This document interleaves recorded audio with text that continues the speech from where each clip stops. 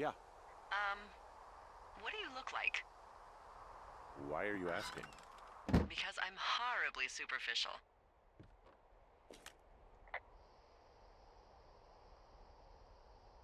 I could be Tom Cruise's good-looking twin brother. Oh, that's too bad. I read in People he's like five foot nothing. Yeah, well, you can't win them all. Okay, well, that gives me a good start.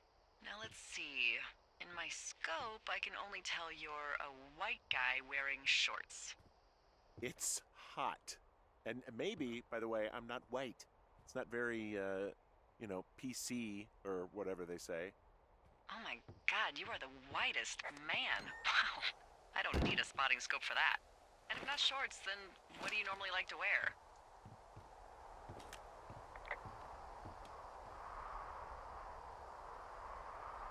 Uh, I don't know. I like to look nice, usually.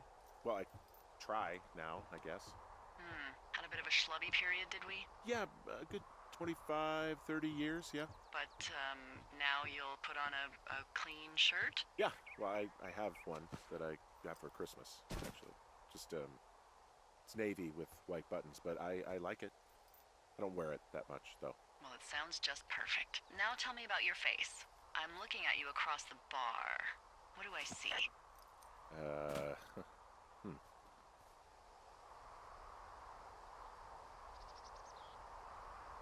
A pretty thick beard. Oh, have you always had a beard? For a while, yeah.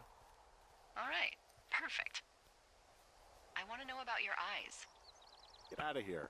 I'm drawing you. I need to know. You're what? Is is that okay?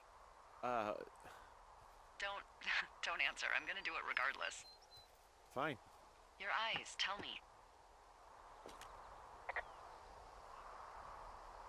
They look tired, I think. Oh, yeah? Yeah, you know, you hit a certain age and you just. You think you're a younger person who just looks tired all the time. Speak for yourself, mister. But I guess that's getting old.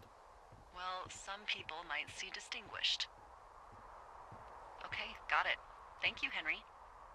You get what you need? Absolutely.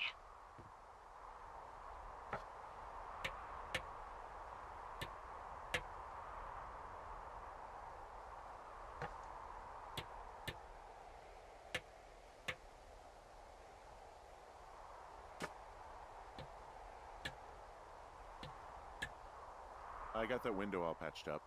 So, what should it. What do you think is next? Well, you've been the one giving me tasks for two days straight. What's next is you sit in that room until September 1st and call me at the first sign of smoke. Oh, yeah.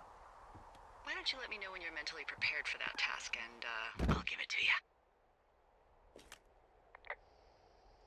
Okay, I think I am ready to tackle my long term commitment of keeping this national forest safe from total destruction.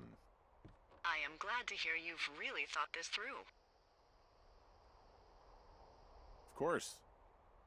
We've issued you a comfy chair to sit in and everything. You know, it's not really that comfy. I mean, it's wooden and there's no padding. I think I actually got a splinter in my thigh this morning. Aww. Well, regardless, take a seat. The forest depends on you.